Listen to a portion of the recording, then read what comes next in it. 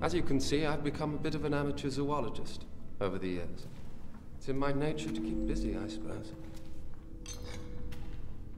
The pathogen took so many forms and was extremely mutable. Fiendishly inventive, in fact. The original liquid atomized to particles when exposed to the air. Ten years on, all that remains outside of the original virus are these gorgeous beasts. Patience is everything. From the eggs came these parasites, shock troops of the genetic assault, waiting for a host, entering the host, rewriting the DNA, and ultimately producing, well, these enviable unions. My beautiful bestiary. Soon enough, I began a bit of genetic experimentation of my own. Some crossbreeding, hybridizing, what have you. You engineered these, David? Idle hands of the devil's workshop, Captain. Come. This is what I wanted to show you. My successes. You see, Captain, my work has been frustrated by the lack of an essential ingredient.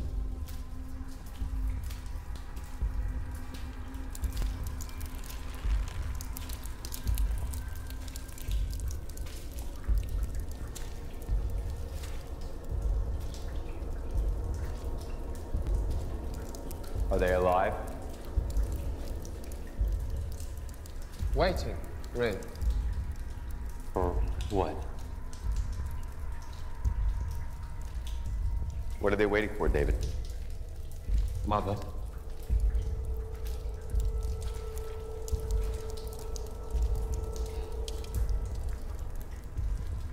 Perfectly safe.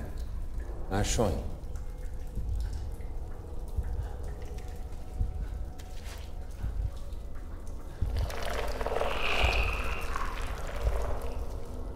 Take a look. Something to see.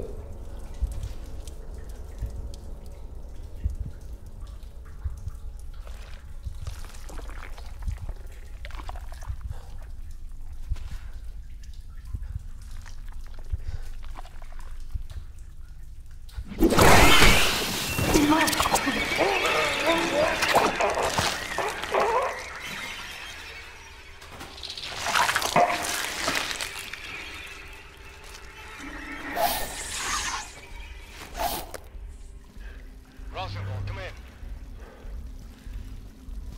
Rosie, report.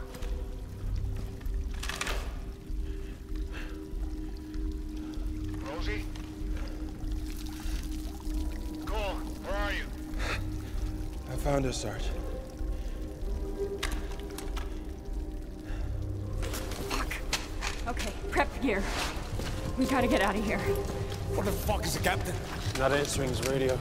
Listen to me. I'm gonna contact the ship, get them to launch as soon as they can. Find Oram. Keep your comm open. Back here in 15. Got that? Copy that. Got it. Walter, where the fuck is Dave?